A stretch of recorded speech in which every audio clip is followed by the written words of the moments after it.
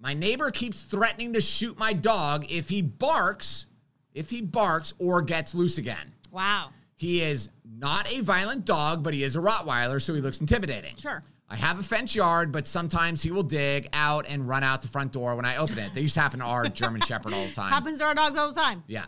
My question is Is he legally allowed to shoot my dog just because he gets loose? No. No, but that doesn't matter because this guy will do it anyway. Yeah, it, but yeah, he still can and will, right? If he's threatening that.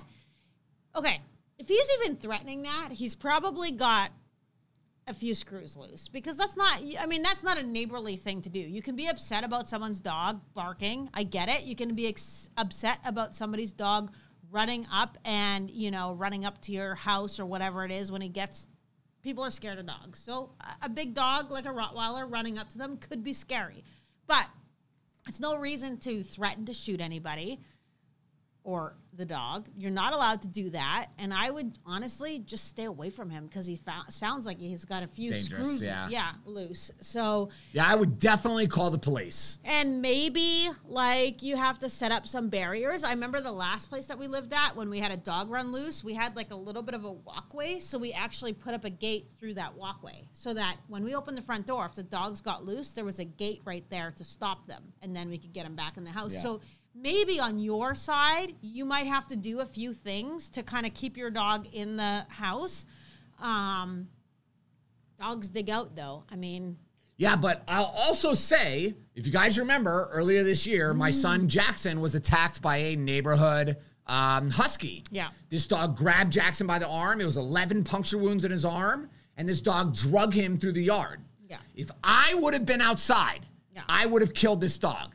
And I told the owner, because this dog has attacked me on my golf cart. It starts biting my golf cart as I'm driving around. It attacked John, right? Mm-hmm. Yeah. Or it tried to bite John. John and another then another jogger. woman who Yeah, was it bit her jogging. It, it bit her. So this dog, like, and the dog gets out all the time because the kids taking care of it are two, they're little kids. This is a big ass husky. Mm-hmm. yeah.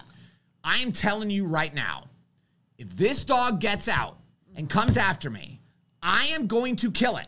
Yeah. I promise you. But Because it is a violent, dangerous dog. Yes, it This has a should not be around people. But he said that his dog is not violent, so I'm guessing his dog hasn't bitten somebody before. So if this is the case, so you're asking, is it legal? No, it's not legal for him to do it, but it doesn't mean matter. It doesn't mean that he won't. You can, if your neighbor verbally threatens again, you can make a police report just so that it's on file. You can have it If on the police file are willing to even come out and do a if, report. if they're willing. Okay. Because somebody threatened to murder me and my family, and the police wouldn't even, Hillsborough County Sheriff's Department wouldn't even come and fill out a police report of it because they were too damn lazy. Yeah. So, I mean, but you can try so that you have something on paper.